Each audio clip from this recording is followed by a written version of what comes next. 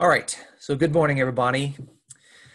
Our fellowship, as of recently, has been uh, talking about the subject of Christology, which is the study of the person and significance of Jesus. We've also been talking about who is God and the person and significance of God.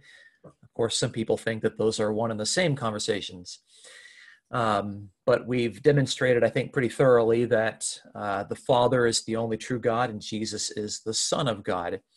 And this is not something that all people who claim to be Christians agree upon. And so uh, today we wanted to talk about how we can uh, strategize in talking to other people about these important topics.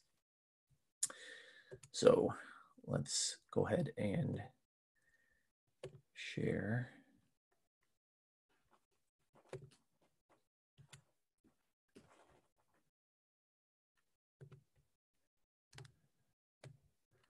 Okay.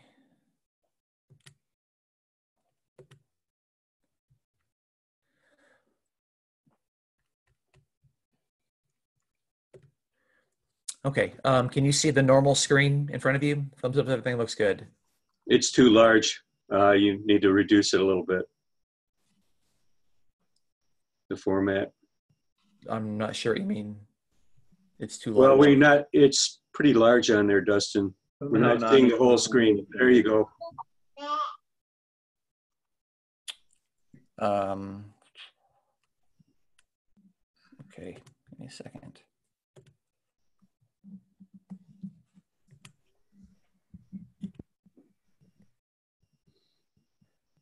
There you go. That's it. Okay, awesome. Thanks. Thanks for that. All right. so today we'll talk about uh, tips for sharing the one God and the human Jesus with others. And uh, there's a variety of things that you can talk about in regard to this, but these are just some particular tips that I have found to be useful um, uh, in various conversations and various uh, talks around a table at a Starbucks or within pastoral ministry to have conversations with other people who think and believe differently about God and think and believe differently about who Jesus is. So, uh, obviously, you can't be comprehensive with this, but uh, hopefully, this encourages you with a couple of things to consider. This is going to be more of a practical teaching and, and not so much a, a doctrine type teaching, but I think we kind of have to start off and ask the question why, sh- why should we bother sharing the one God and the human Jesus? Uh, there are some people that think that that is just really not their responsibility or it's not really that important. Maybe we don't need to bother other people or we don't need to create any sort of drama by talking about something that is controversial. Uh, it's very clear. I mean, uh, the person of God and, and Jesus, they're probably the two most controversial persons in the history of the world. Um, and so obviously they're important and significant for people. Okay, so reason number one um, God's heart is that his people would come to know what is true, especially in regard to who God is and who Jesus is. So, First Timothy 2 3 through 5 says, talks about God our Savior, who desires all men to be saved and to come to the knowledge of the truth. And then he tells us that truth that he wants us to come to know. For there is one God and one mediator also between God and men. And that mediator is defined as the man Christ Jesus. Okay. Uh, and so here, this is what God wants. God desires, He wishes, He wills that people will come to the knowledge of the truth. This is what God wants. Okay. And that tells us that particular truth that God wants people to know. So why should we bother to share this? Well, it's because God cares about it, so we should care about it. That's reason number one. Number two, Jesus summons us to continue in the ministry that he started. So the last verses of Matthew 28 has Jesus command us and say, Go therefore and make disciples of all nations. We are to baptize them in the name of the Father, Son, Holy Spirit, and we are to teach them to observe all that I commanded you. Okay? So Jesus tells us that we need to continue his ministry as making disciples. Part of making disciples is to teach them to observe or to obey everything that Jesus commanded. Okay? So why should we bother sharing the one God and the human Jesus? Because Jesus shared the one God and Jesus talked about himself and he commands us to make disciples and to carry out his ministry. specifically by teaching other people to observe the things that Jesus taught. Number three, the Apostle Paul recognized the need for correct knowledge of the Messiah to go along with fervent zeal. He says this in Romans 10. Brethren, my heart's desire and my prayer to God for them, this is for the Jews that are not Christians, my prayer to God for them is for their salvation. For I testify about them that they have a zeal for God, but not in accordance with knowledge. Romans 10, verses 1 through 2. So Paul says it's possible for people to be religious, for people to have a relationship with God and to have a zeal, a, a passion, a, a fervent uh, zeal for God, but have incorrect knowledge. Okay? And notice there that without the correct knowledge, Paul is assuming that they do not have salvation. Okay? Uh, and so it's again, it's possible to be. I mean, there's lots of people out there that are really, really religious and really, really excited about their understanding of God, but without the correct knowledge, I mean, Paul's Paul is praying for these people. So why should we bother sharing the one God and the human Jesus? Uh, because we need to have correct knowledge to go with fervent zeal. And number four, uh, we want others, or we would want others to share truth with us if we were misguided. Okay. And I'm taking this from what is generally called the golden rule. Uh, in the Sermon on the Mount, Matthew 7 12, Jesus says, In everything, therefore, treat people the same way you want them to treat you. Okay? Treat people the same way you want them to treat you. So, if I would want someone to come along and to help me if I was misguided, and I want to, to treat other people the way that I want them to treat me, then I should also want to share truth with others who are misguided. Okay? So, why should we bother sharing the one God and the human Jesus?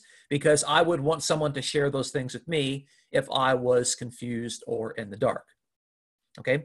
So, there are some biblical reasons from God, Jesus, Paul, and the Sermon on the Mount for why we should do these things. Okay? Uh, I think those are some very strong reasons, and uh, I hope that, um, that you find them persuasive. Okay? So, things that we need to keep in mind when we are talking to others. Okay? Uh, number one, uh, most Christians have not given much thought to the theology of their local church or their upbringing. Since this is likely the case, we need to encourage them to deeply think about God and Jesus, which are hardly unimportant topics for Christians to critically consider. Okay? Uh, there are a lot of people they just accept what they're taught in church because we generally accept religious people that are placed before us. Maybe we have just accepted what our parents tell us because it's natural for children to have an accepting relationship with their parents. Um, but not a lot of people have taken the time to really critically examine if what they have been taught is true. Um, you know, the latest uh, sociological polls indicate that there are around 30,000 different distinct Christian denominations. That's 30,000, three with four zeros at the end of it. That's 30,000 distinct Christian groups that believe something different from the group next to them. Okay? So, how do you know if the group that you were born into is correct? It would be pretty arrogant to think that what I was born into must be correct and everyone else is wrong, because that's kind of implicitly what everyone else thinks. So, um, I mean, the likelihood is that one out of a, a 30,000 chance uh, is not a very, those aren't very good odds. So, um, I think first thing we could do is we could just encourage other people like, hey, ha- have you thought about God? Have you thought about Jesus? Have you thought critically about who they are and what is the distinction between them and what is the relationship between the two of them? About the identity of God and the identity of Jesus? People are very interested in thinking critically about social issues and about police reform and about uh, racial issues. And you know people want to think about important things that matter to people's lives. What more important than the persons of god and jesus? So i think you could do that. You can encourage people to think about those things. Number two when it comes to major topics like the definition of god and christology people need time to process new truths and new data. I'm going to say that again. People need time to process new truths and new data. This could take weeks, it could take months. And so we need to strike a balance between regularly checking in on those we talk to and giving them space to process. Okay. Now, I've known some people that when I talk about this particular balance of, hey, you got to you got to regularly feed into these people but you also got to you got to give them some time and some space to process. I know some people that will focus only on one to the neglect of the other and it doesn't generally uh, lead to positive outcomes okay? So if all you do is badger somebody um, and you just just check in like every single day you're just you're just say you know what about this verse what about this verse what about this verse um, it's, it's like you're, you're force feeding them you know like people they, they need time to, to to accept something in their own mind okay on the other hand there are some people that say hey i'm just going to talk about god and jesus once and i'm going to plant a seed and then i'm never going to talk to them again and then it's just kind of up to them and they just give them all the space to process but they never check in on them they never ask them how they're doing. They don't say, hey, do you have any questions or have you thought about this more or hold them accountable? Um, I don't think that's good either. Um, so I think a balance between, again, as, as a disciple, you're, you're regularly feeding into somebody, but we have to respect that, you know what? It takes time for people to process these things. Okay. Uh, and I've noticed that. I've noticed that, uh, like going for a hard sell, saying, look, this is the way it is um, and expecting them to change on the spot. Generally speaking, it, it has happened, but generally speaking, people need time to to to be convinced themselves. And once they're convinced themselves, then they're good to go. Okay.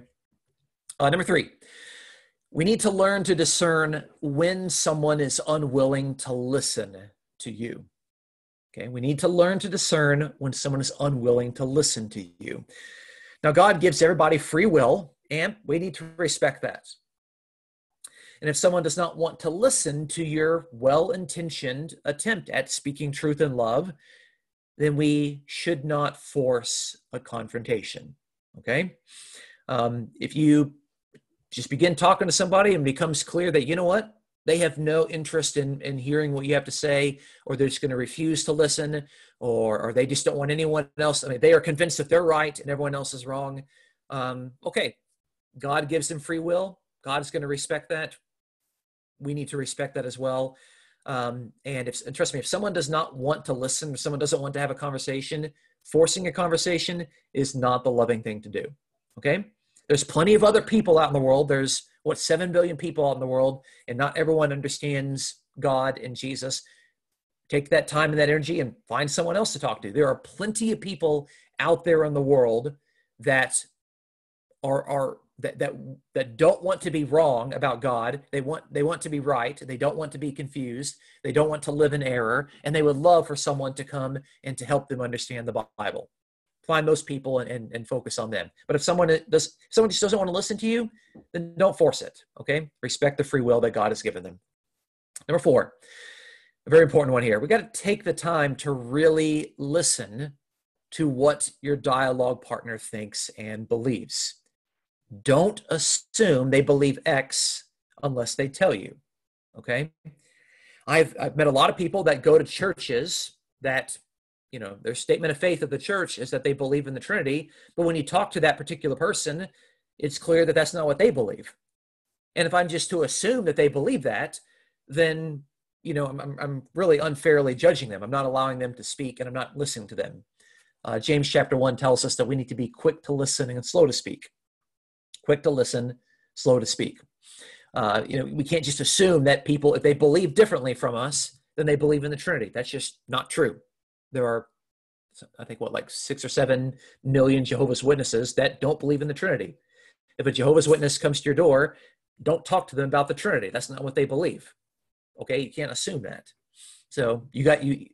It's it's helpful to ask somebody, ask these helpful questions. What do they believe, you know, because they might believe something different than what their own church says. And you don't want to judge people by what their church says. You need to judge them by what they say. All right. And number five, uh, I'm just calling this the, the three C's. We need to remember the three C's of we need to have courage, we need to have conviction, and we need to have compassion. Okay? Um, you, got to have the courage to, to go up and to have a conversation with somebody. Okay? You can't live in fear, can't live in anxiety. I mean, if, Jesus did not have the courage to preach the gospel to people, we would not have 12 disciples. I mean, there's a lot of stuff that would happen. Uh, you got to have conviction. You got to have conviction that, you know what? God and Christ are important topics that deserve to be discussed, and the conviction that God wants people to know the truth, and Jesus wants us to disciple people to uh, adopt Jesus' teachings, and that Paul believes we need to have knowledge to go with zeal. Um, you, you got to have some conviction in, in what you're saying. Otherwise, you're, you're not going to be very successful. And of course, you have to have compassion. You have to love the person um, in order to speak truth to them. You have to love them to listen to what they have to say. You have to love them to, to give them the, the time to process these things. Um, and, you know, if it comes down to it, you have to love them to tell them that they might be making a terrible mistake. Okay. If there is, you know, I can look out my window right here and there's a road okay? If there's a little child playing in the middle of the road and there's a car coming and that child doesn't see it um, the compassionate thing for me to do is to loudly warn the child that that doom is coming so that they can save themselves okay? Um, people tend to think that compassion and conviction and courage don't mix well together. That's just a misunderstanding of compassion okay? You gotta have all those things okay a few facts that you can share in order to break the ice. Okay, so these just a couple of facts that you might want to have handy when you want to have these particular conversations. There are thousands of facts you could have, but I, I thought that these might be some that would be useful to you. Okay, um, first fact uh, this is something that actually is, is really convicting to me. Um, God, in a variety of ways, is mentioned over 12,000 times in the Bible, and he is never once equated to the number three. 12,000 times God reveals himself, never once is he equated to the number three. You could do a, a word study. Closest thing you're going to find to God and three being uh, detailed in scripture is the repeated truth that, quote, God raised Jesus on the third day. Like I said, you could do a, you could do a, a Bible work study, a concordance study with, with the word God or various words for God, whether it's, it's Elohim or Yahweh or Adonai, uh, Almighty, or Theos or, or even the Father. And the closest thing you're going to get is God raised Jesus on the third day. Okay? So, so God is revealed 12,000 times in the Bible, and never once is he described as being three. You would think if, if the Trinity is the true doctrine, that God would reveal himself as three or equated with the number three, at least somewhere in the Bible, but never, not in a single occurrence, not in one single verse. That's very interesting. That's very telling for me. Okay. Um, second fact Jesus, by the way, is called a human being more times in the Gospel of John than in Matthew, Mark, and Luke combined. Why is that important? Okay. Because people have been told that the Gospel of John has a higher Christology than Matthew, Mark, and Luke. Okay. And yet the Gospel of John argues for the humanity of Jesus stronger and more emphatically than Matthew, than Mark, and Luke, and actually all three of them combined. I think that's very interesting. Number three, you could tell people that Trinitarian theology was not invented until 381. And even then, it was strongly disputed by many church leaders. There were no Trinitarians in the first century. There were no Trinitarians in the second century, and there were no Trinitarians in the third century. It wasn't until like 350 years after the resurrection of Jesus that people started to write this stuff out and make a uh, Christian doctrine out of it. And even then, it was disputed. Number four, Jews in the Second Temple period believed that the Messiah pre existed in God's mind, plans, and purposes. There are a variety, there are dozens and dozens of, te- of texts to demonstrate this. Words from Jews, both inside and outside the Bible in biblical and extra biblical texts to demonstrate that this is how they understood the pre-existence of the Messiah. It was in God's mind, God's plans, and God's purposes. Number five, the Holy Spirit is never the object of worship in the Bible, but God and Jesus are. Okay? No one ever worships the Holy Spirit. No one ever sings a song to the Holy Spirit. You might hear songs in Christian radio today where people sing to the Holy Spirit. Okay? But that is not a biblical way of worshiping. Okay? Furthermore, the Holy Spirit is never portrayed as sending greetings in the New Testament epistles, but God and Jesus are. So Paul will write uh, a letter and he'll say, Grace and peace from God our Father and from the Lord Jesus Christ. But there's no separate third person that is sending greetings. Okay. Holy Spirit's never worshiped. Holy Spirit never sends greetings. Okay. That, that's enough to kind of get people to really question the, uh, the, the doctrine of the Holy Spirit being a conscious third person. Uh, number six, Jesus personally refers to God as my God 10 times in the New Testament. Okay. And most of those occurrences are actually after his resurrection. So we got occurrences before his resurrection and occurrences after his resurrection. So Jesus says, "My God," ten times. That's what he, he, he so. How could Jesus be the Almighty God if he has a God above him? That's a very strong point. No matter what exalted things you want to say about Jesus, Jesus still has a God above him. And number seven, the writers of the New Testament refer to Jesus as the descendant of King David 20 times. Okay? Jesus is a descendant of David. Why is that important? Why do I keep harping on this particular point? Okay? Because if you are the descendant of David, and that means you're a human being who is younger than David. It means you don't exist prior to David. Okay?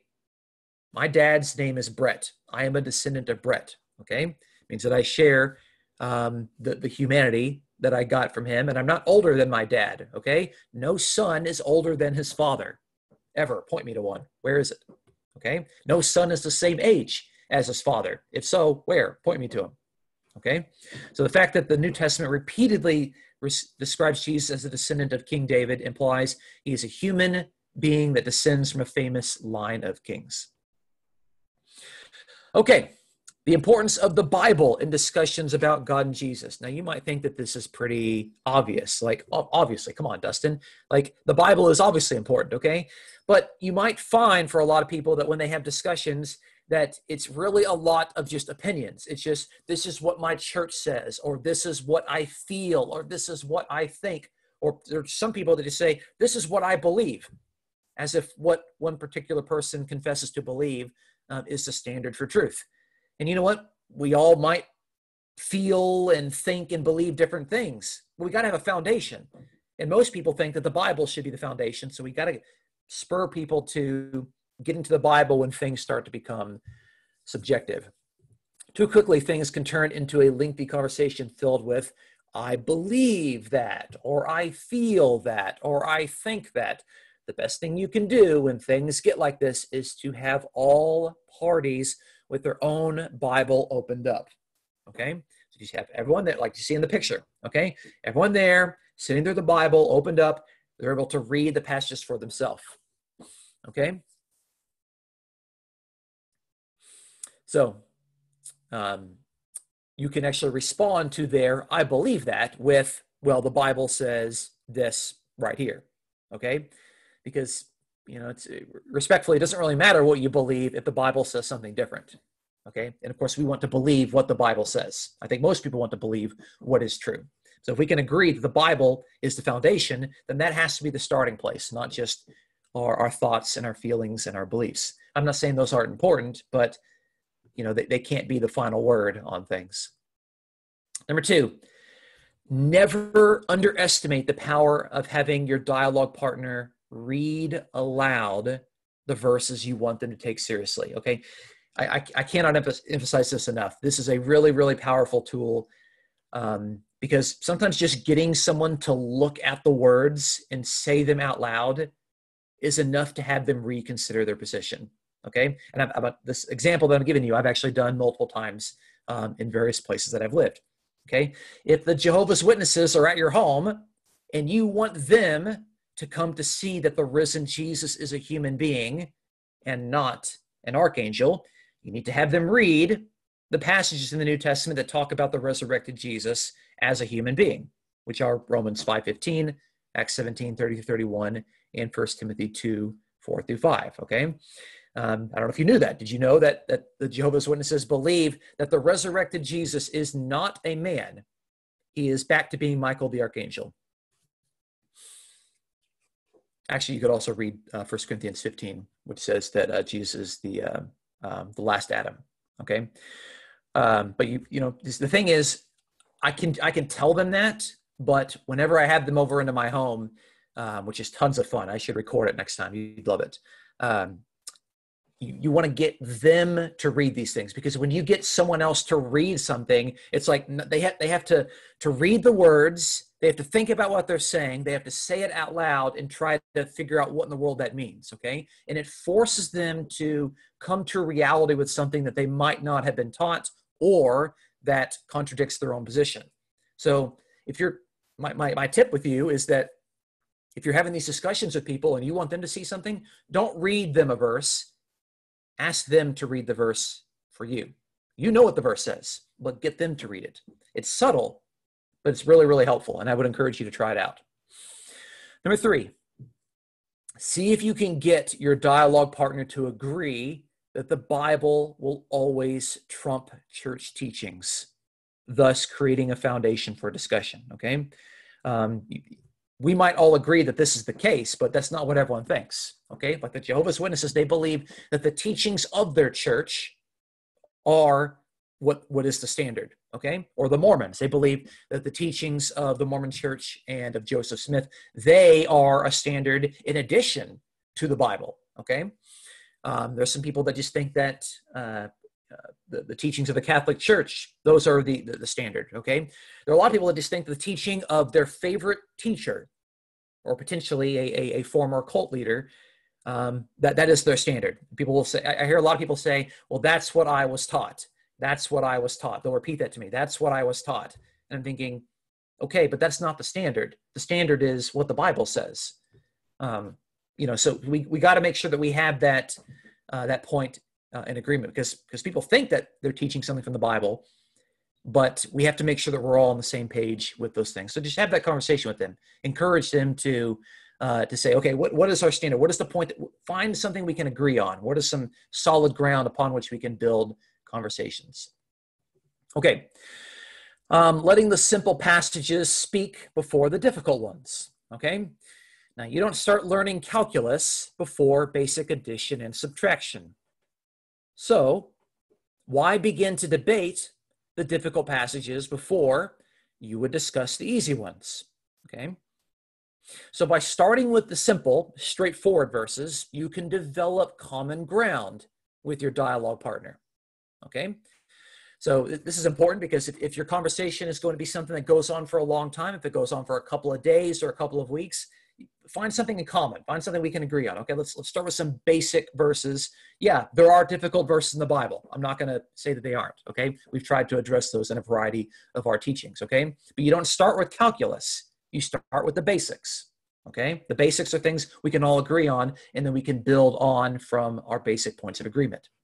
So take for example the passages dealing with the hierarchy between god and jesus okay? I've found this tactic to be um, really successful, and, and you might find this to be um, beneficial to you in your conversations as well. Okay, so take passages that deal with the hierarchy between God and Jesus. So Jesus said, The Father is greater than I, John 14, 28.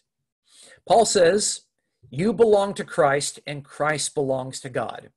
Okay, so it's pretty clear. God at the top, Jesus number two, and you, second person plural, you all belong to Christ. 1 Corinthians 3.23. How about this one? 1 Corinthians 11 3. Paul says, I want you to understand, I want you to understand Christ is the head of every husband, the husband is the head of the wife, and God is the head of Christ. Okay, this is what Paul wants us to understand. God is at top, Christ, the risen and exalted Christ, is number two, and then you have the husband and the wife. Okay, so he gives that hierarchy there. This is what Paul wants his converts to understand. God is the head of Christ. And we've already read this passage, 1 Timothy 2 5. There is one God and a mediator also between God and men, the man Christ Jesus. You got God at the top, you've got the mediator between humanity and God, that mediator is a human being, the man Christ Jesus. So, what I've found is that you can actually make a helpful visual aid for verses like this. Okay, so you read these passages, or better yet, get your dialogue partner to read them for you and just write them out on a piece of paper. So I've done something like this. Okay, so you've got this hierarchy, John 14, 28. You've got God the Father. The Father is greater than I. So God on top, Jesus and the place below that. 1 Corinthians 3.23, um, God is at top. God is the head of Christ. And uh, then we have you all on, on, in third place. 1 Corinthians 11.3, God is the head of Christ. Christ is the head of the husband. The husband's the head of the wife. And 1 Timothy 2, 5. you've got God. You've got the mediator, which is the man Christ Jesus. And then you have humanity in the third place. So look at all these verses here. I said, is, is Jesus co equal with God? Is Jesus co equal with the Father? No. Jesus clearly the second place person. Okay, is, is Jesus called God? No, Jesus is distinguished from God. Okay, God is a separate person who has a separate rank from Jesus. Okay, who is God? God is described as the Father. Who is Jesus? Jesus described as a human being. Okay, and, and just pointing that out there might be helpful for you. Okay, it's worked for me might be helpful for you. So it's good to commit those four passages to memory. Okay.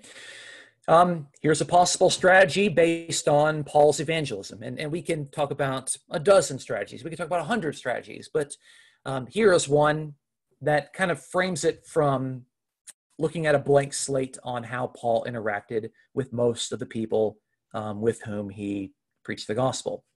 So, as the apostle to the Gentiles, Paul evangelized pagans hundreds of times in multiple cities all over the Roman Empire. It is interesting to see how Paul converted those persons who were used to worshiping many gods and many lords in favor of the God of Israel and the Jewish Messiah. So consider these passages. Acts 17, 30 through 31. Paul says, Therefore, having overlooked the times of ignorance, God is now declaring to men that all people everywhere should repent. Why should they repent? Because he, that's God, has fixed the day in which he will judge the world in righteousness through a man whom he has appointed, having furnished proof to all men by raising him from the dead. Okay? So, this is how Paul would preach to Gentiles. Okay? Hey, there's one God. Okay? He is going to judge the world. And in, the Bible, to judge the world means to rule the world. Okay, we have a book of Judges, and the judges were earthly rulers. Jesus says that we're going to judge, um, judge the world. Means we're going to rule the world. He has fixed a day in which God is going to rule the world through a man whom he has appointed by raising him from the dead. Okay, so we've got the death and resurrection of Jesus. We've got the fact that Jesus is a human being. Jesus is going to judge and rule the world and God has fixed a day in which this is going to happen. What a, what a great presentation of the gospel. You got the death and resurrection of Jesus, the identity of him as a man that God has appointed, the fact that he is distinct from God, and you've got the kingdom of God there where Jesus is going to come back and judge and rule the world righteously. Okay, and people should repent because of that. All right, so when Paul preached the gospel, it was about one God and one man, Jesus. Jesus, the one that died and rose, and Jesus, the one that's come back to judge and rule the world in God's kingdom. And people should repent because of it. Here's another one, First Thessalonians. Uh, Paul says, For they themselves report about, about us what kind of reception we had with you, and how, notice very carefully here, how you turn to God from idols to serve a living and true God, and to wait for his Son from heaven whom he raised from the dead, that is Jesus who rescues us from the wrath to come. 1 Thessalonians 1 9 through 10. Okay? So again, these, these pagans, these Gentiles, they worshiped idols. They had to turn from idols to God. This God is called the living and true God. And guess what? This living and true God, he has a son, someone distinct from the living and true God. Who is that son? That son is Jesus. Jesus died. God raised Jesus from the dead and Jesus is going to come back and rescue us from the wrath of judgment. Okay? So, again, as we can see, Paul preached a single God and his human son, Jesus, who is coming to judge the world and to rescue the faithful from wrath. Okay? Paul did not preach that God is a Trinity. Okay? Paul did not preach the doctrine of the Father, Son, Holy Spirit being co equal, co eternal, and co essential. Paul did not preach that God became a man. And for my Jehovah's Witness friends, Paul did not preach that Michael the Archangel became a man. Okay? Paul preached that Jesus is a human being. Jesus is God's son, and there's only one God. Jesus died. Jesus was mortal. And it was God who raised Jesus from the dead. And preached the kingdom. Jesus coming back to judge and rule the world and to rescue the faithful from the wrath to come.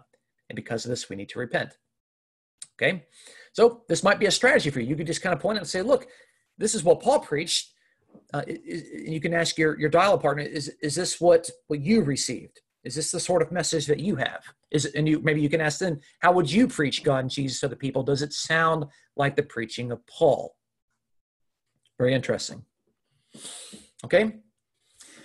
Who was Jesus according to Paul's gospel? Here is another possible strategy. Since Paul had to explain the person significance of Jesus to Gentiles who had little to no prior knowledge of Judaism's messianism, it is quite telling to see how Jesus is defined in these gospel presentations. Okay, so logic of this is that Paul is preaching to these Gentiles who don't know anything about Jewish messianic expectations. Okay, so they don't know. Paul can't say, "Hey, you need to believe in the Messiah," because they don't even know what the Messiah is. It's not even a word in the vocabulary. Okay. So, so what did Paul have to say to these people that worshipped lots of gods, lots of lords? They worshipped the Roman emperor and they worshipped Zeus and they worshipped Apollo. What did Paul have to say to them about Jesus? Because he had to explain who Jesus was literally from the ground up. Opening five verses of Romans. I like this one.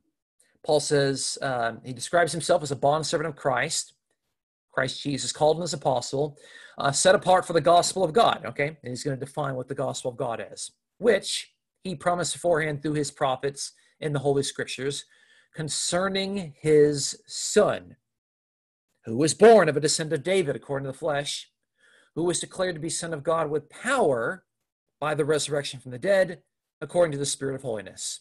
Who is this? Jesus Christ, our Lord, through whom we have received grace and apostleship to bring about the obedience of faith among all the Gentiles for his name's sake. And that's a lot. Okay, Paul, you gotta we gotta work on your run-on sentences. Okay. But he defines what the gospel is. It's God's gospel. And guess what? It's about God's son, someone distinct from God. Who is that son? He was born. Okay. He was born as a descendant of David. Okay. Which means that he was of the line of David's kings. He has promised the throne of David. He has promised David's kingdom. Okay. He's a human being just like David was. He didn't pre exist David. He's not David's creator. Okay. And he is powerfully declared to be the Son of God at the resurrection of the dead. So Jesus died. He was raised from the dead. Okay.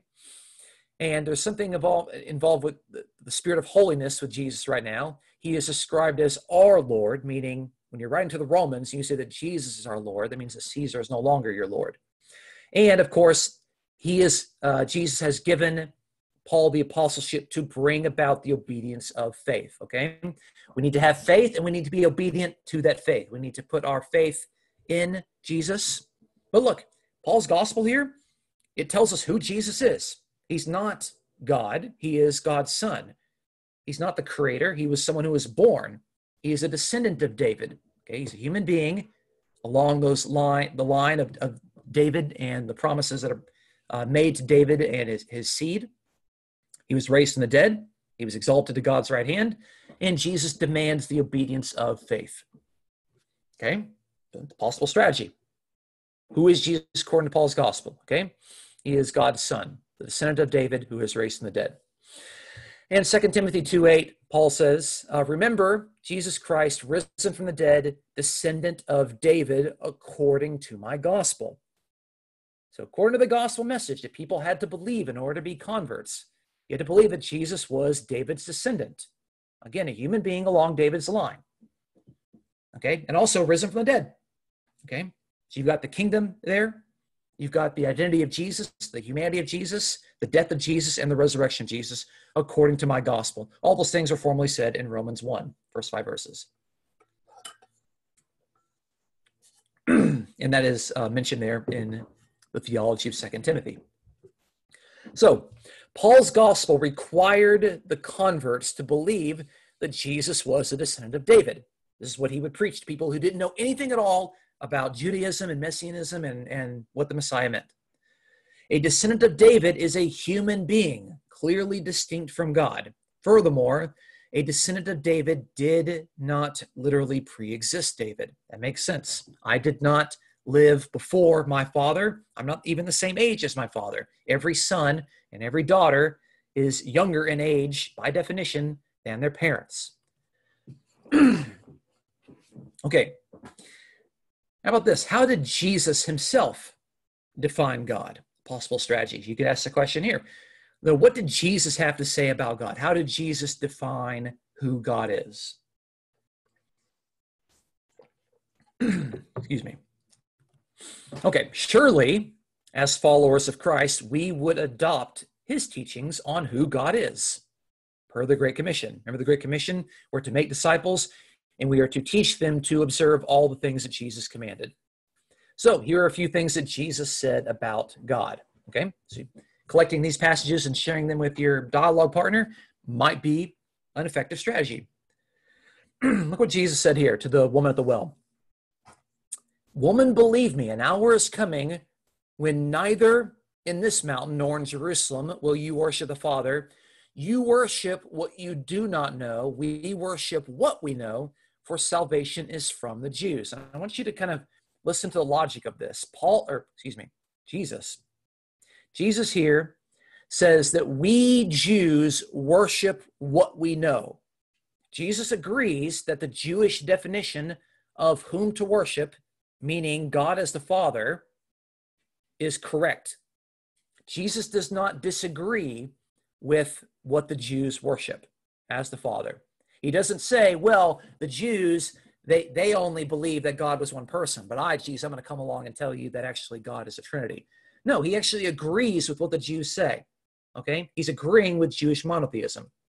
We worship what we know. Salvation is from the Jews. Okay? So Jesus is not coming into his ministry to change the definition of God. He's not. All right. He even says this in John 8 54. Jesus answered, If I glorify myself, my glory is nothing. It is my Father who glorifies me, of whom you say he is our God. So when Jesus is talking with his dialogue partners, um, he, he draws on some common ground. He's like, Look, we agree on who God is. He, singular pronoun, by the way, one person who is described in the verse as my Father, he is our God. The Father is Jesus' God, and the Father is the God of Jesus' dialogue partner. Okay? And it's interesting here, Jesus says, If I glorify myself, my glory is nothing.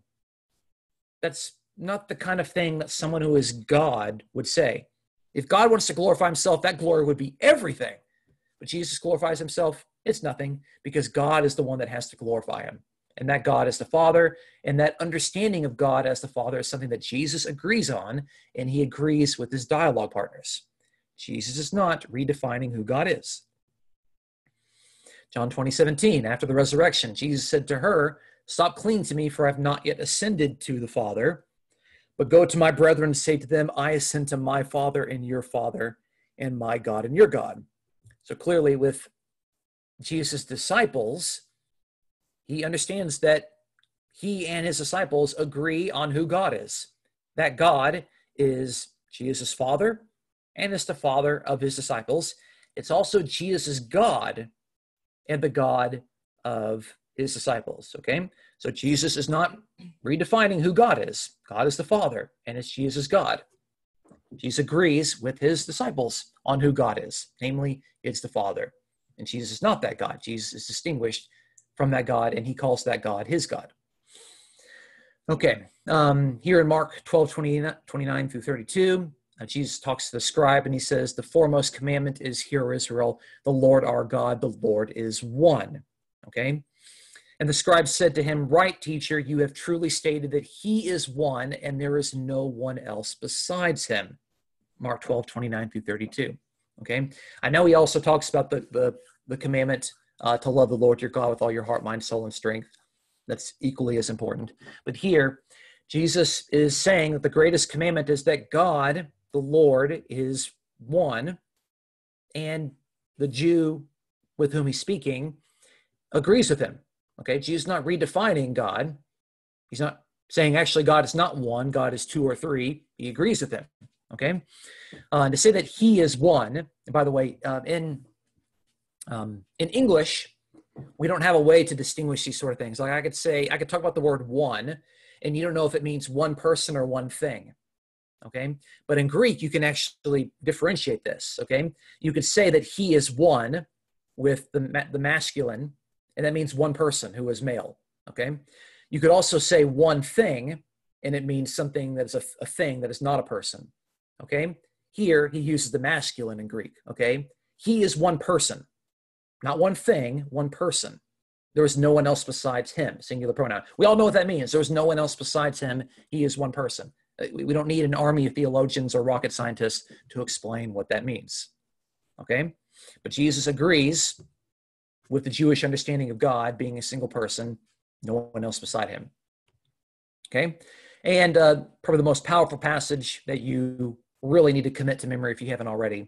John 17, 3, where he says, This is eternal life. This is the life of the age to come, that they may know you, the only true God, and Jesus Christ, whom you have sent. This is really the theology of the entirety of the Gospel of John, is that there's only one true God, which is the Father that Jesus is praying to in this passage, and that only true God has sent and commissioned Jesus, so that true God has empowered and authorized Jesus as the one, as the agent. okay? Jesus is distinct from the only true God. But look there, Jesus says, hey, look, this is not a divine suggestion. This is not religious good advice. He says, this is eternal life. It's very, very important. You don't want to get eternal life wrong. Okay? All right. And the eternal life is that they may know you, they to know personally you, singular pronoun, and then you have all these other singular words. The is singular in Greek, only is singular in Greek, true is singular in Greek, and God is singular in Greek. And someone who is distinct from the only true God is Jesus Christ, whom the only true God has sent. Okay? It's an important topic when Jesus says knowing someone as the only true God um, and Jesus Christ um, is eternal life. That makes it deeply important. Okay, applications. So, what are some things you can walk away with to help you to have some helpful conversations with other people regarding who God is and who Jesus is? Number one, we should take advantage of the opportunities God places before us to speak. God wants everyone to come to the knowledge of the truth regarding the one God and the human Christ Jesus, who mediates between God and humanity. Jesus summoned us to teach others, and Paul recognized the need to have correct knowledge, to have correct knowledge accompany zeal. Okay? So, like, we're going to have opportunities to speak people. God's going to put them before us, and we need to take advantage of, of those opportunities. It's something that God wants, it's something that Christ wants, and it's something that Paul wanted. Number two, we need to be good listeners not good debaters, not good speakers. We need to be good listeners in order to hear where our dialogue partner is coming from, because different approaches are needed depending on the circumstances. Jesus dealt with people differently depending on where they're at. There's also a reason why, in order to be a good listener, it's probably not a good idea to have these conversations over social media. Okay?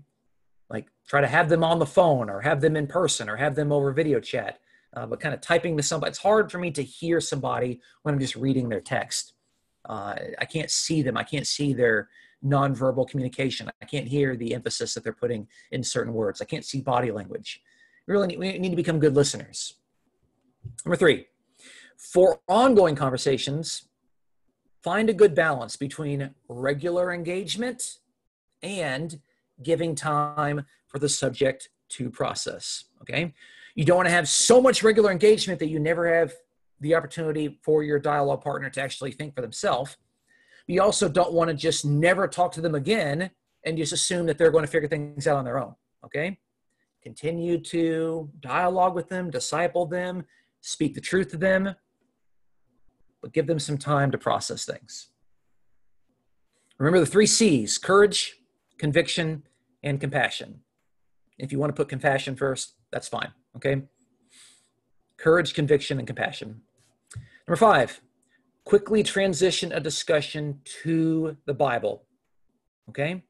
Quickly transition a discussion to the Bible. That way, it's not just a bunch of opinions or I believe or I feel. Get everyone to have a Bible in front of them. And if possible, have your dialogue partner read the passages you want them to consider. That is very, very, I can't emphasize enough. That is so powerful in getting people to think for themselves. Number six, consider visual aids as a way of getting the data in front of others. Okay. I wrote out four verses in a hierarchy. That's been beneficial to, um, with me talking to people. Might be beneficial to you. And number seven, take time to prepare your presentation possibly using bulk examples from the teachings of Jesus or the preaching of Paul. I offered a couple of examples um, from things that Paul said, the way that Paul interacted with Gentiles, the way that Paul described Jesus, and the way that Jesus defined God. Okay, but you need to have, have take some time to prepare your your presentation. Okay, because organization is going to be much more persuasive than sloppiness. All right.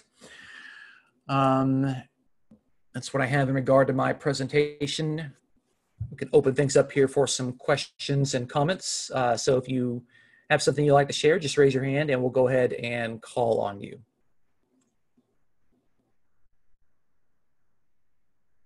Um, okay, John has his hand raised.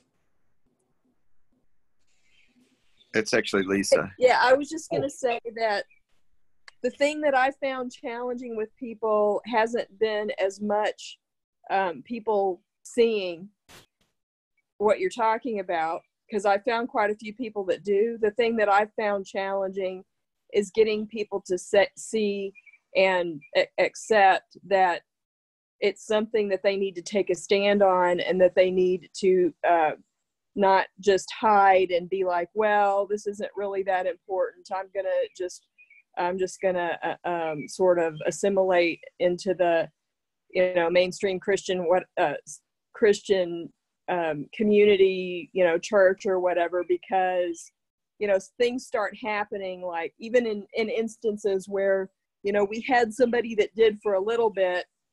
Um, like in one instance, it was a single person, and they started realizing, oh, it's going to be much harder for me to find a spouse, and I want to really get married. So, you know, oh, I guess this isn't. You know, they start rationalizing that this is going to be too difficult i think. They kind of in their mind start thinking this is going to make life difficult for me and i don't really want that. So they um, we have a lot of that. John and i have a lot of that. We've had um, a lot of people that in our area where john has shared tr- the truth with them you know he did this lunch for a long time that this guy that was he was this guy that was coming to it um, the the guys just kind of jokingly started naming it and calling it heretic huddle because it was the lunch where you know people could come and talk about controversial matters you know and john would share about you know who is god and who, who jesus is. And pretty much everybody there that came to that and there were quite a number of people over some time you know would like see you know what he was saying and agree with that but uh, they just really were not willing to go um, well you know they're all have family members who are mainstream christians or spouses or whatever and they just weren't willing to to take the risk that they're going to have persecution or trouble i don't think because of believing that and taking a stand on it So. Oh wait, you're muted, Dustin. Okay. So um, I, that's what I would want to understand better how to deal with is what do you do with that? Yeah. Um, well, it, it's interesting here that, that, that part of when Paul had to preach the gospel, notice that it's not just accepting God and Jesus. There was also repentance. There's also a change of mind and a change of behavior that involved with that. Uh, and Jesus talked about, hey, he, he, he taught about counting the cost. You have to count the cost of the decision that you're going to make. You have to understand that. Okay. Uh, I, I know people, and, and Valerie knows people that uh, are married, and the two spouses have different understandings on who God is and who Jesus is, and it is hell for the children. It is not good. It, it is it is like they they they they compromised on those sort of things, and and now other people have to suffer. And the reality is, it's like it's not even real fellowship because the definition of fellowship biblically is commonality. Why would I go to a church if I believe something different from them? That's not commonality. And what is more important than having commonality on God and Jesus?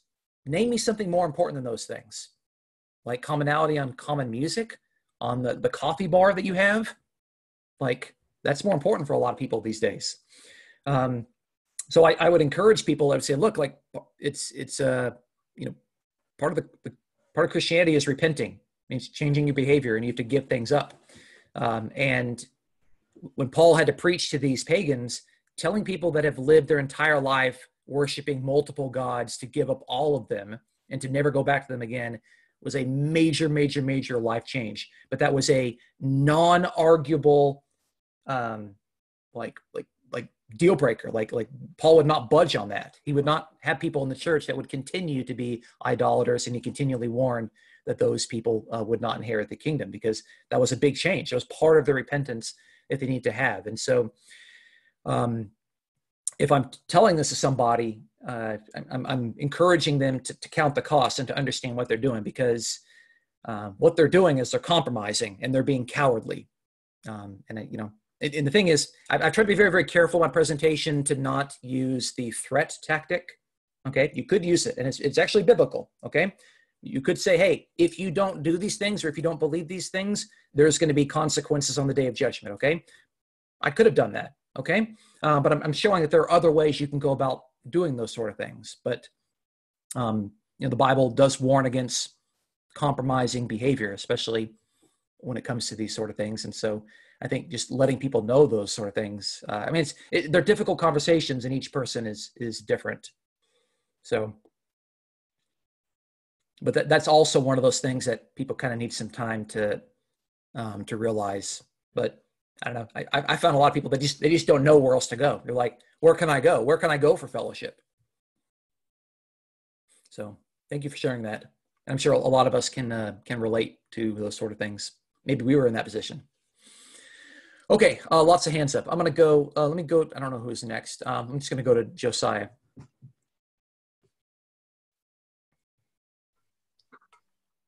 All right. Um, I'm trying to make it brief. I know we don't have a whole lot of time, but um, I guess Christian would be kind of a perfect example, except I really, we really had an advantage because he was in the boys' home when I was staff there, the one who got asked to leave, and he was there when I got asked to leave. So I kind of had some credibility with him.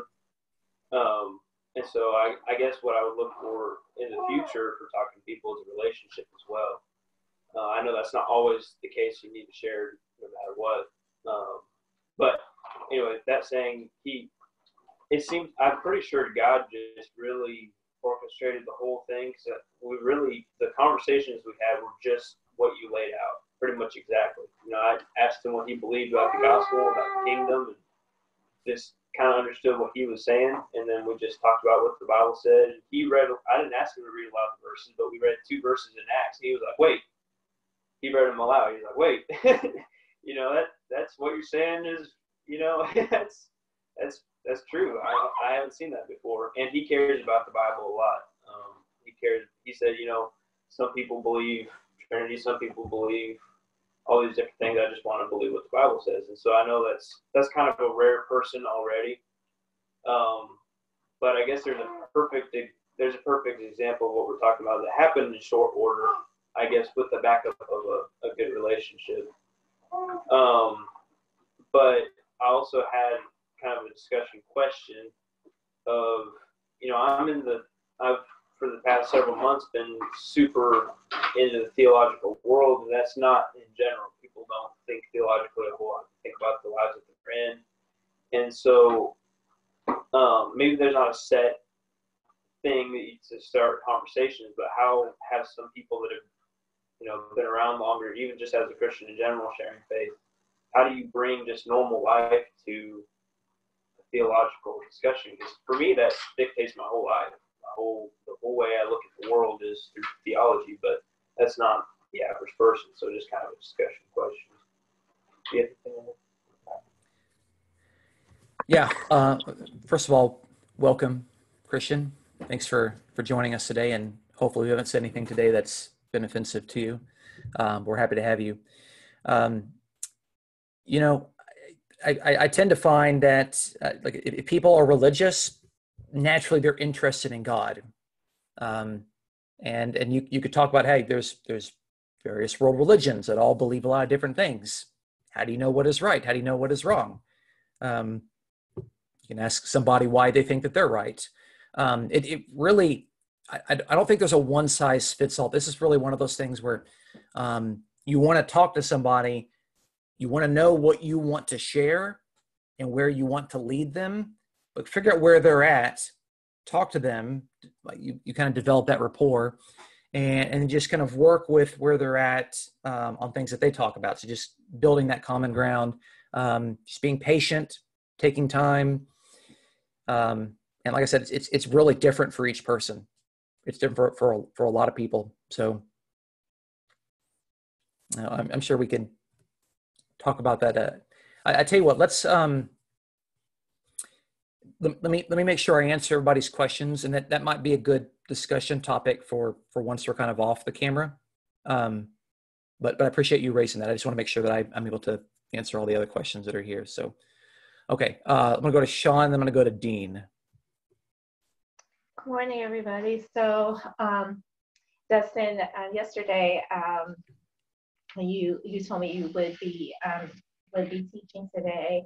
Um, I appreciate it, and I did invite um, I did invite my my friend and or my uh, my acquaintance, but um, it doesn't look like um, she showed. So I don't think it's a, a matter of her not wanting to show.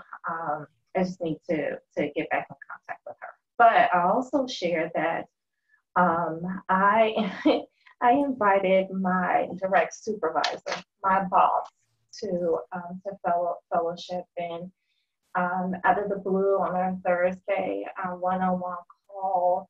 She just asked me, I just want to know what church did you attend? And she lives in Charlotte, so we don't live in the same same city, but she asked.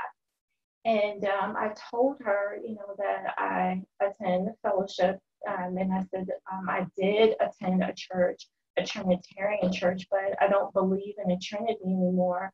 And it's just difficult for me to find um, a church home, but I was able to um, to find um, a fellowship, uh, a biblical Unitarian fellowship. And she says, "Oh, that's interesting." Then we moved on, and um, I we didn't discuss it any further. But on Friday, um, I responded to an email um, from her. We talked about something else, and I just um, responded, "Oh, by the way, you're welcome to join us. We have great teaching.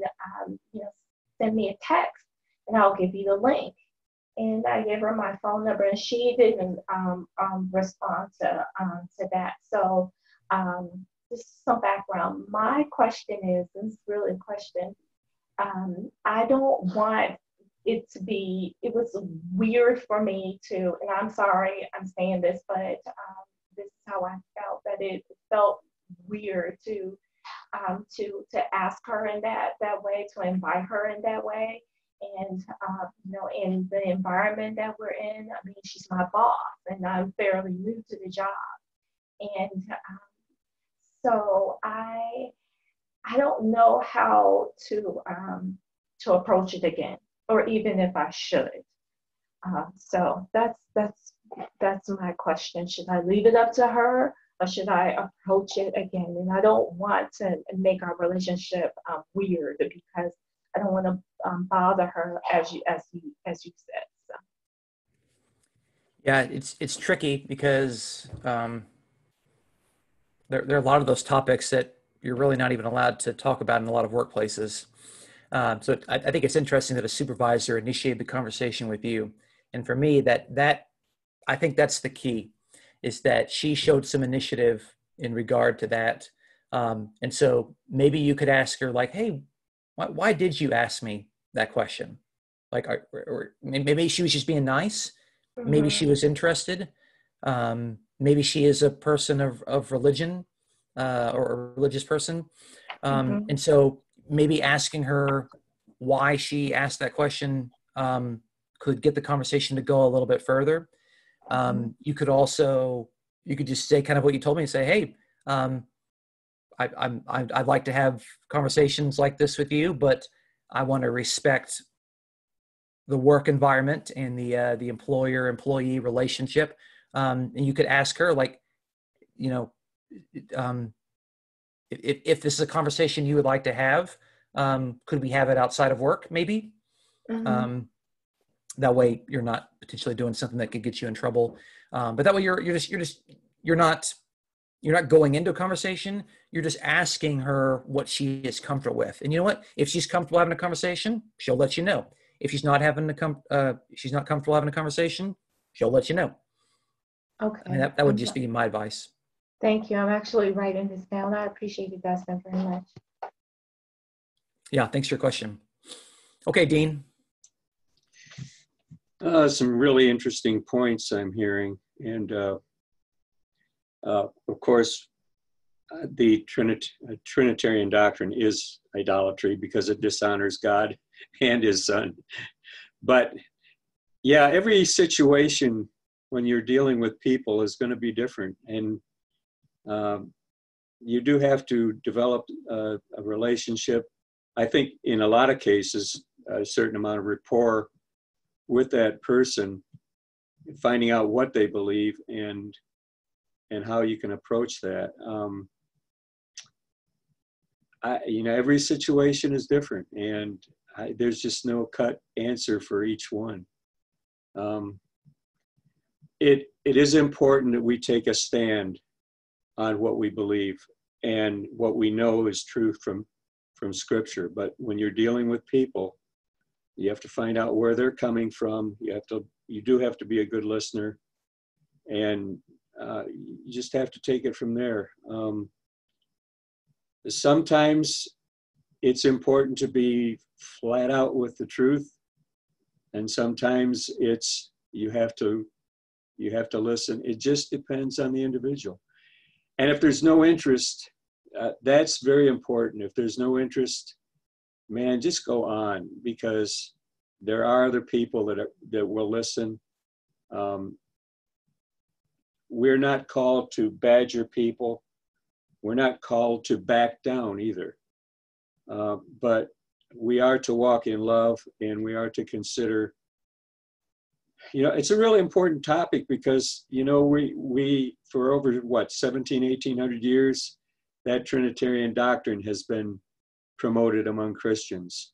And that's that's like Paul talking to the, you know, the people uh, in in uh, Athens and other places like that, who had all these other gods.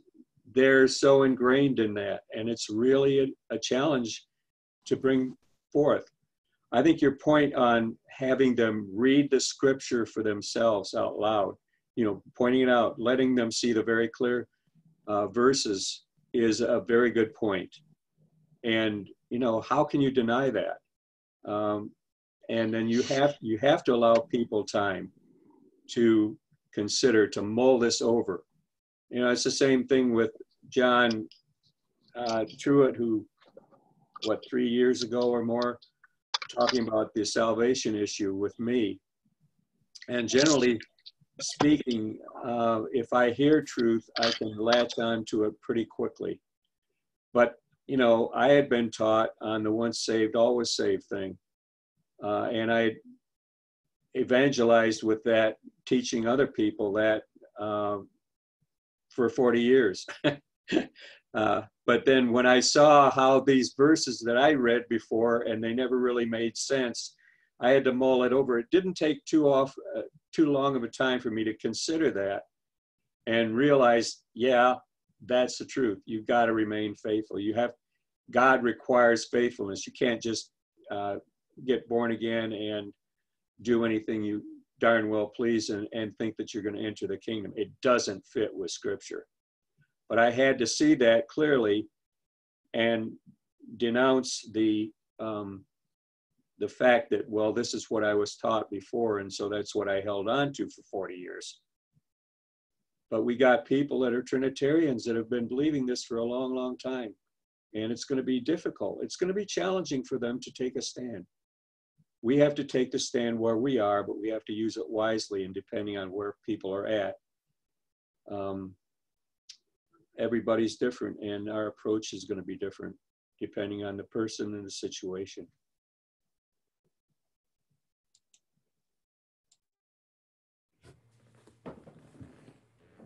Very good points. Thank you. Thank you. Okay, uh, go to the Trig household and then I'm going to go to Tony. Hey, um, yeah, very good stuff. Uh, the only thing that comes to my mind, uh, you know, kind of in light of what Dean is uh, re, uh, whatever. Um, one thing I always think of in this sort of situation is that since we can't know what's inside somebody's head and we, we have to spend time with them to learn how they're approaching things and what their history is, is I always come back to the the passage in Nehemiah chapter two where you know he's in a situation with the king and the king you know says what is it that you want?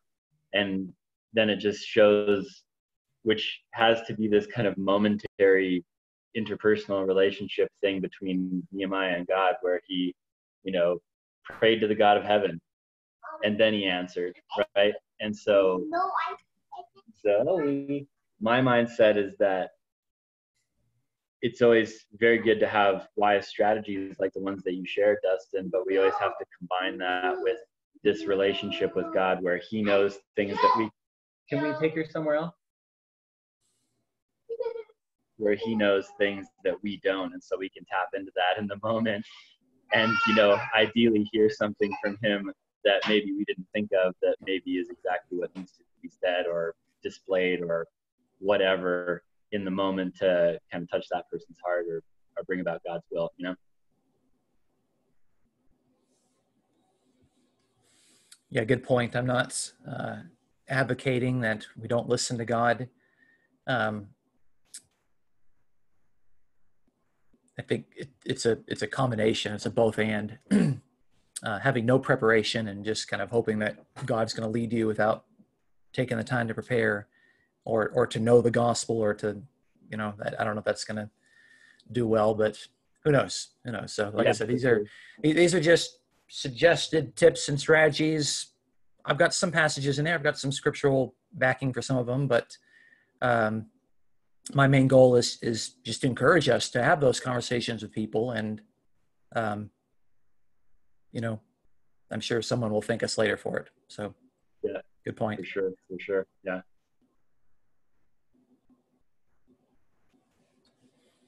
Okay, Tony. Oh, uh, thanks again, uh, Dustin. Um, appreciate the the tips and the strategy. Um, I've used a good bit of those. I guess what I'm what I'm finding in my life is it's it's not always a happy path. Unfortunately, you know, you can share these truths um, with someone um, lovingly and um, you know scripturally, and um, they are you know so bent and so um, hoodwinked on they see it differently. And and i guess is what i'm saying is that it's you got to be prepared for um, the rejection or the the the um, talk to the hand scenario right? And um, it's a bummer because especially when you're enthusiastic and excited to learn these wonderful truths. It reminds me when i got saved you know, I was very vocal, very, um, you know, hey, I, I just, I got saved. I mean, I, I, I met my creator my, and, and I, I, my sins were forgiven and, um, I was born again. I was born from above and it was a wonderful time and I shared and I, and it was, completely heartfelt. And, um, you know, it's kind of like I was, once I was blind, now I could see. I didn't know a lot of scripture, but who does when they're saved, right? And nonetheless, this is I liken this whole drop in the Trinity um, ideology uh, almost in that in that arena of, of being um, saved again. Because it's it was such an explosion of uh, of realization and and it was connecting the dots in a lot of ways. And um but unfortunately you know just I, I, your strategies are cool really. I, I mean that honestly and heartfelt. Um it's just I, I guess we uh, the execution aspect is it doesn't always have a happy path unfortunately. And i guess we got to just be prepared to keep punching away. I mean not literally but um you know just keep uh like you said in your revelation um statement perseverance. And it's not always easy. I want to i want to lay low sometimes because it's you know constantly uh you know um trying to um you know send get the message across or um, appeal to um, logic or can you see this? And you know but I, I, here's the and the other aspect is i didn't no one taught me this. You know i told you my story and it was me looking and searching the scriptures. So god opened my mind. The father opened up my mind so i could see this. And um, god I, I i don't know how to get around that fact that he's got to do the same to the people I'm talking to. But yet we have to be diligent to to tell people about these things, even though it's going to be talking to a, a, wall. So I don't know. That's the that's the reality I engage with in my life, in my almost one year of, of realizing these things. So uh, I, I I just I appreciate the tips and you know and they're definitely cool. I'll definitely relook at the video and all, but that that's what I'm finding. It's just you may have an awesome, convincing. Can't you see that in First Timothy two five, two fifteen or two five? For there's one God and one mediator between God and man, man Christ. I mean, bam, bam, bam. It says it right there. But no, they see it differently, and they got other scriptures. So, yeah, uh, you know, it, I think with with a variety of the doctrines that we hold, um, it's it, it's just difficult to have conversations with with people. Um, it, it, needs to be successful, but there's I mean there's there's a lot of factors that are involved it, with that. Um, you know, people talk about how just some people they just genuinely and sincerely they just see the evidence going another direction. Okay, they just yeah. people look at a passage, they just read it differently. Okay, that that happens in our group. Like I get that um, you know we weigh different things differently. Um, some people they just they don't want to listen to something. Some people have been told that this particular doctrine um, is a cult doctrine. That's just what they've been told. Um, you know some people they don't want to count the cost. Some people they won't accept something because they don't want to admit that their family members who also believe it are wrong. Um, yeah. there's, I mean, there's so many things in there uh, and, they, and they do take time. I'll, I'll give you just as you talk about the Revelation thing. Um, you know, I've, I've, been convinced of, of my reading of Revelation for a decade now. Um, and I've tried to teach it a, a, few times, and I've learned the hard way that that's one of those things that it takes people a lot of time to to digest. Um, and uh, when, when I first presented my kind of overall view, um, let's just say there there are some people even among us right now that were not convinced and thought I was crazy. Um, many of them have come along uh, eventually, but it I mean we've been working on that thing for almost two years. Um, we're not even done. We're just like two thirds of the way done, and so I've had to learn to be very slow and very patient, and just and realize that um, that ingrained teaching for people is sometimes very difficult to undo or, or it's, it's, very time consuming. If, if it's going to happen it's very time consuming. So um, you know I, I can't just yell at somebody be like hey this is the way it is. Because it's, it's not until they decide for themselves that that's the way it is that they're going to be convinced. They're not going to be convinced for me yelling at them. Yeah that's that's a good point because it's almost like you got to un you got to remove the poor teaching or the myths or the untruths then you got to replace all that that cavity that you just pulled out the root with truth. Yeah. And then we, we got to be willing and accepting.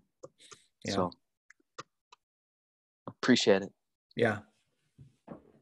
I, I, I like I like your story in particular because you heard someone make kind of an off a cuff statement in public that, oh, the Trinity's not true. And it was just that little off comment that I don't even think was directed at you in particular that got you thinking, oh, is the Trinity not true? Um, and I think a lot of people would think, oh, we shouldn't make those sort of comments because those comments aren't effective. Well, you're here proof because that comment, those sort of comments could be effective. Um, so let's let's not sit there and deny and say, well, uh, something might not work. Um, you never know. You know, you never know what you say that's going to be uh, effective with somebody. So, okay. Um, Julie has her hand raised. Hi. Hi. Hi, everybody. I miss you all. anyway, um, I, I was, you know, Dean had a really good point about the things that he said. Everybody's, it's just been great. And I know Tony's kind of in a situation that maybe a little different than some of us, but I think when you're talking to somebody about this, um, one thing we have to always remember is that, you know, when you're talking to them, like like Tony said, God's got to be in that situation. He's got to open that person's heart, and we can't take it personal. I mean, I, I know me. I take it personal. It's like, oh my gosh, can't you get this? It's like there it is in front of you, you know, and you just can't believe they can't understand. And so it gets real personal, you know. But I try to keep that out of it and just try to be loving about it and, um, you know, just say, hey, well, you know, you just have to figure it out yourself, but you really need to take a serious look at this, you know. But I think try to keep it from being so personal and get offended about it because that's what my problem sometimes is. I take it real personal and it's not personal, you know. So that's it.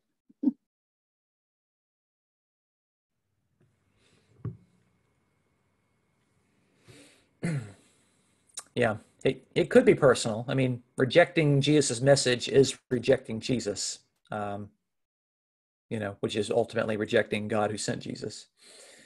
Uh, but but yeah, I, I, get that, and that's difficult to do as well, um, because the, the things that we try to share is an extension of who we are.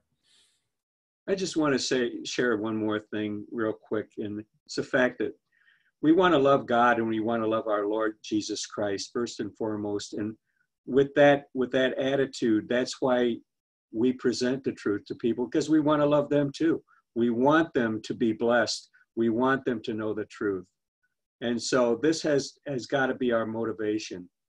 Our motivation is because we love god we love the lord jesus christ and we love others.